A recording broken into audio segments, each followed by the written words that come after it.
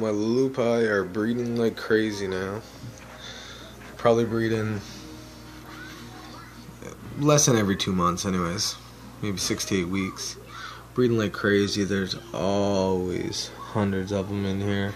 I got at least a hundred and some downstairs in the basement with a bunch of mixed Calvus fry too.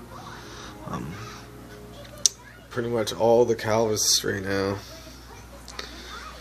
having babies. It's hard to see, but there is a little female inside that shell. You kind of see her body shape there. She's in there guarding a bunch of fry.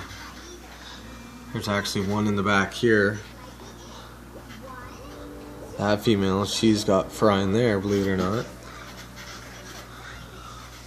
These guys leave them alone most of the time, though. Don't really bother anybody. And there's actually more fry in here. The little female just went in. It's hard to see.